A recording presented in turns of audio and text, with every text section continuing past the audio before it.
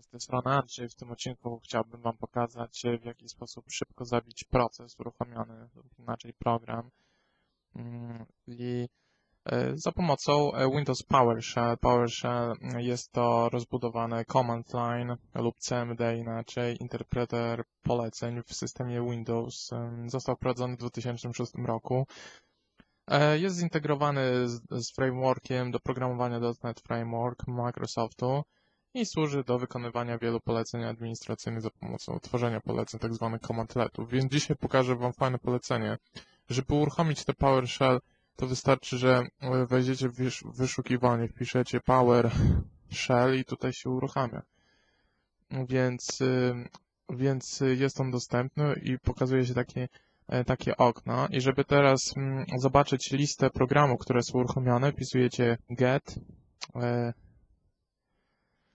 e, E, dash proces i naciskacie Enter. I teraz pokazuje mi się, pokazują mi się procesy.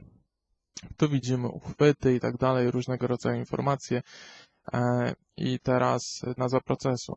I na przykład pokażę Wam to na przykładzie. Wyobraźmy sobie, tutaj jest uruchomiona u mnie przeglądarka Firefox. Sprawdźmy, gdzie ona jest. Jest Firefox. I teraz pokażę Wam bardzo fajne e, polecenie.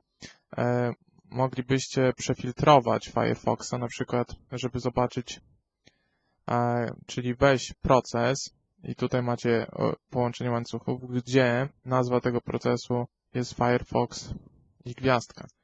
I teraz pokazuje nam się, pokazują nam się informacje na temat tego procesu. Jeżeli chciałbym teraz zabić ten proces, to jest takie polecenie e, ts kill i wpisujecie nazwę procesu. I teraz zwróćcie uwagę, na dole tutaj mam Firefoxa, i teraz zwróćcie uwagę, naciskam Enter i już nie mam uruchomionego Firefoxa.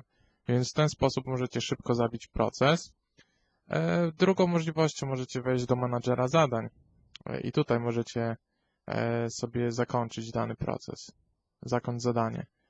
Ale łatwiej czasami jest zrobić przy pomocy polecenia. Więc tak korzysta się i zamyka się procesy używając Windows Power Shell. To wszystko, do usłyszenia, trzymajcie się. Hej. Hej.